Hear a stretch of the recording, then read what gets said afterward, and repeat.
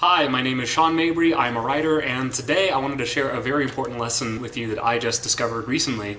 Because uh, over on the blog, I set myself up a little challenge called 12 Weeks, 12 Stories. I was kind of tired of only writing about writing on the blog, and I felt like it was kind of cutting into my, my actual fiction writing, so I figured, like, well, why not just put the fiction on the blog? And that'll force me to write more fiction, force me to get stuff out faster. And it's been going great so far. I'm really happy with the, the first three stories I've gotten out on the blog. But one of the things I realized very quickly um, with all three of these stories is that the second I hit publish on each one of these stories, I immediately was was was flooded with things I, I would have done differently.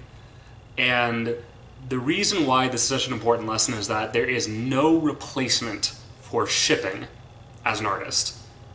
There's no replacement for putting the work out there in a way that is final, in a way that says, here it is, it's done, this is, this is what the thing is.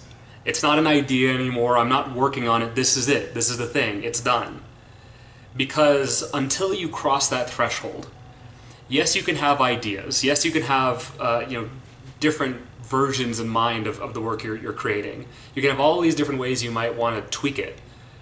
But all of those are, are just theoretical and they don't feel real this is, I think, part of why so many people get caught in the, the, the cycle. You know, and I've been caught in it before too. We, we, we all do get to this point at some point, but get caught in the cycle of working on one long project forever that they never actually finish.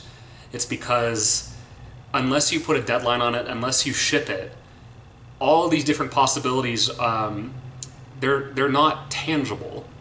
You might be, you know, they, they, they feel like nice to haves versus, I wish I had done that differently. And the thing is, as, as much as it's uncomfortable, that feeling of like, ugh, I wish I'd done that differently, that's where real learning happens. That's when you really truly develop in your craft. Because as long as it's all theoretical, as long as, you know, it's it's the, the project has no deadline and you could you could theoretically go and change it at any time because you're going to be working on the same thing forever, that's not learning. That's that's just that's experimentation without any conclusions without any data drawn from the experiment. So, ship. Ship, ship, ship.